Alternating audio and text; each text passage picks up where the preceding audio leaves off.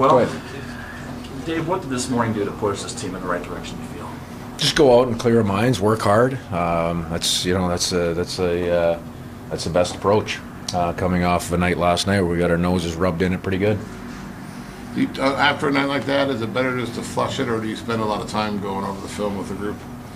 We didn't do much video today. I mean, there's, you know, we uh, we did a, you know, we did a couple, a couple quick clips, um, and that's it. And really just, you know, um, and to be blunt, you know, just about our our readiness and our our mentality, uh, especially in the early part of this hockey game. So, you know, sometimes there's pieces of video that can address that and and are worthwhile. But the biggest piece is just getting out and working uh, on uh, on the things that we wanted to touch on.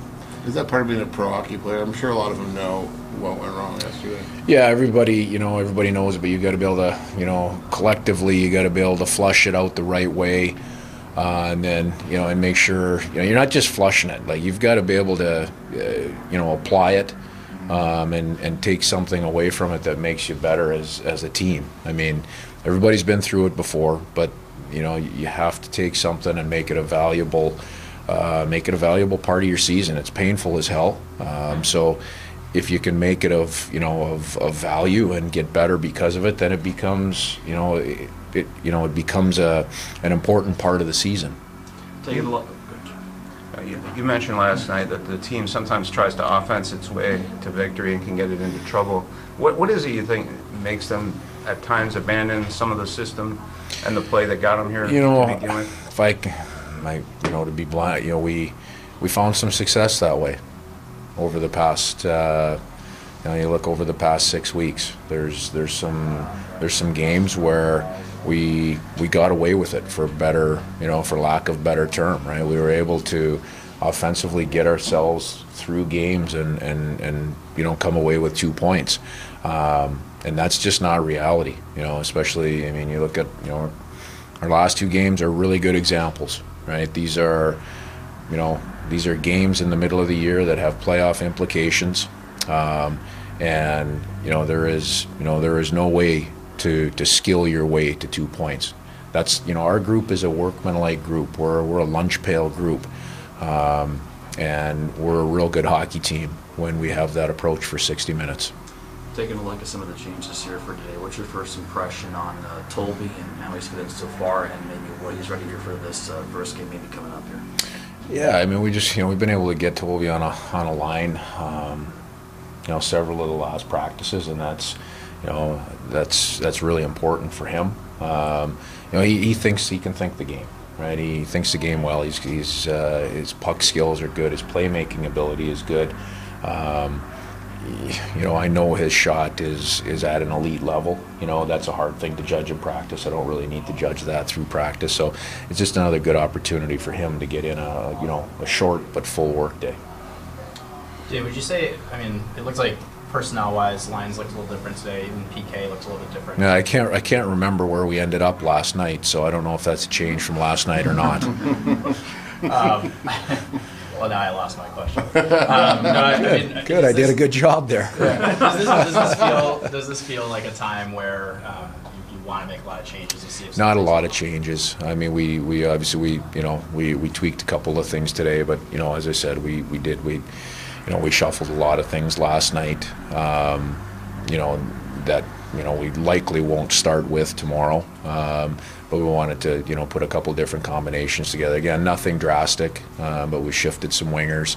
Um, you know, and we had really you know in reality we had 20 minutes of you know basically 20 minutes of, of you know any type of line work really out there so you know what we saw today isn't necessarily set in stone for tomorrow um, but we did want to look at a couple different combinations and, and we've seen them all before right every one of those combinations that you saw out there other than probably one we've seen before Uh, Last night you talked about the net front defense and particularly tendency to maybe leave guys unmarked in front of the net. I mean, what goes into fixing that? Is it watching film, is something you do in practice? Yeah, no, we were we stunk last night, and we, we weren't very good against Calgary in the third period. Um, so that's all part of that mentality of getting back to the to the lunch pail uh, hockey and the mentality because it's it's it's an area of strength of ours.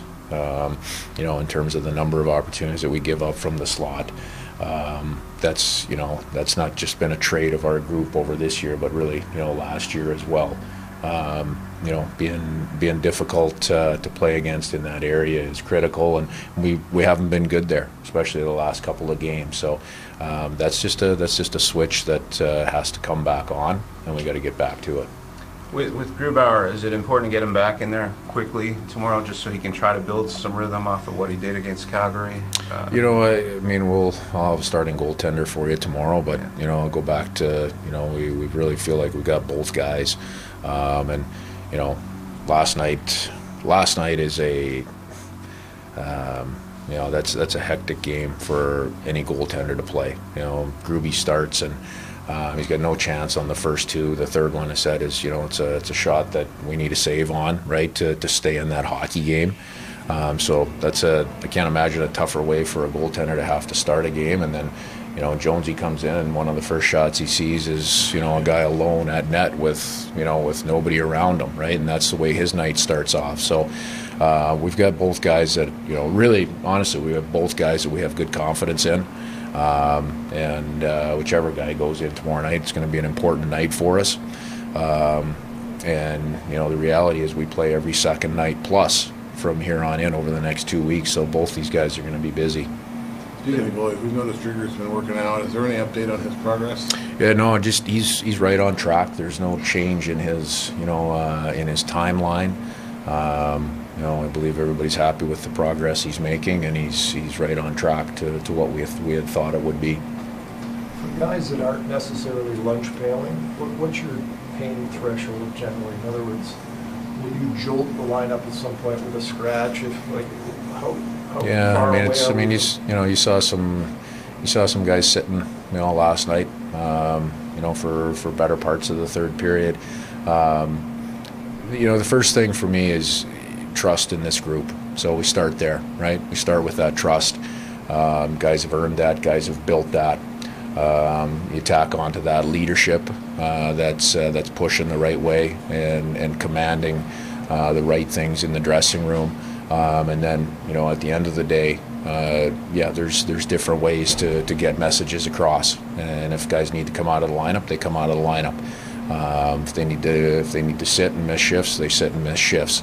Uh, but first and foremost, um, the strength of our group has been that uh, you know the, the trust uh, that guys have built in uh, that they're going to do the right things. But at the end of the day, if things aren't going right, the next guy has to go out there.